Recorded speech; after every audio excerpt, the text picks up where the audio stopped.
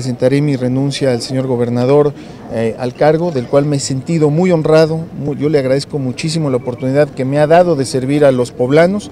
Y bueno, pues esta es la, la viva imagen del trabajo que hemos desarrollado en, a dos años, una cantidad de obras como nunca se habían hecho en Puebla, pero sobre todo me voy muy complacido con la ciudadanía, con la oportunidad, con la gente y el cariño que nos han dado y dispuesto a lo que siga. ¿Cómo espera la, ¿cómo espera la contienda ya electoral? Ya se dieron los tiempos, es momento, 90 días antes, esperaré la convocatoria que viene yo creo que saliendo entre lunes y martes para ver si este, de, de alguna manera soy eh, bendecido con esta situación y a seguirle en el camino. ¿Candidato de unidad en el PAN habrá?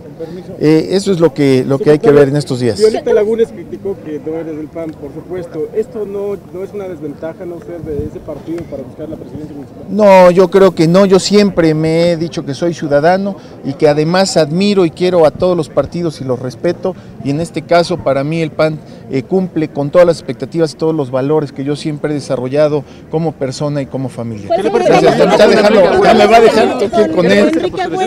¿Cómo va a ser esta contienda tan Perdón, fuerte? pues no sé si, si, si no, no va a ser contienda, yo creo que hay una gran eh, relación, hay una gran amistad con, este, con Enrique, siempre lo he dicho, eh, nos conocemos hace muchos años y mis respetos para él como para todos los poblanos. Las obras ¿Me van a que- dejar? que van a- Sobre las obras. Ay, perdón.